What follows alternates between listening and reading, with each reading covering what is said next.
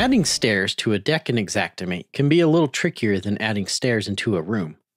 In this expert tip, I will show you the steps to adding stairs to a deck, and you might be surprised at how easy it can be. First, I am creating an estimate for damage to a deck, due to a fallen tree. I have completed the deck portion of the sketch, added the railings, framing, and footings. Now I need to add the stairs, here. The rise and number of risers will vary from estimate to estimate, so in this example, I will be creating stairs with a 2 foot 6 inch total rise. I'll then select the custom stair tool and create a staircase to the side of the deck that has the 2 foot 6 inch rise shown here in the properties. I would need to adjust the number of risers depending on the riser heights, adjusting for different deck heights. For this deck, these numbers will work. Now I can modify the staircase to work for the deck.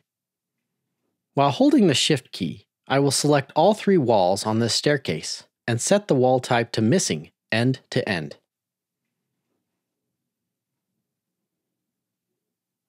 Selecting them at the same time eliminated the need to change the property for each wall individually.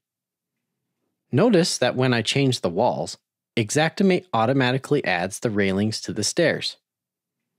We have all fallen off stairs before, so this is a good time to remind you that while the railing has been added visually to this sketch, you will need to add the items individually in the Estimate Items tab to add the materials for the physical railings.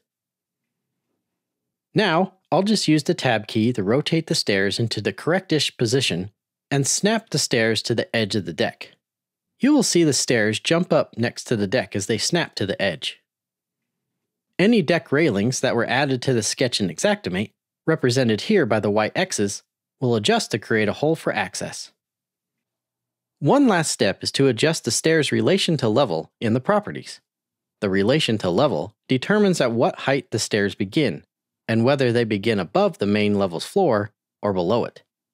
Since the deck is on the floor level I'm trying to reach from the lower ground level, I'll need to set the relation to level to below, and adjust the floor height to be the rise of the stairs, in this case 2 foot 6 inches. And there we have it, stairs that have been added to our sketch in Xactimate. Now you can add the appropriate estimate items to the stairs to estimate the replacement for the insured. Tips like these will save you time, and that is what our team is here for. From our team to yours, thank you for being there for those you serve in the property estimating industry.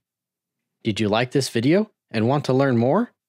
We offer a variety of training options. Just click the link in the description to find out more. Leave us a comment if there's anything you'd like to learn more about. And don't forget to like this video and subscribe to our channel for more expert tips each week.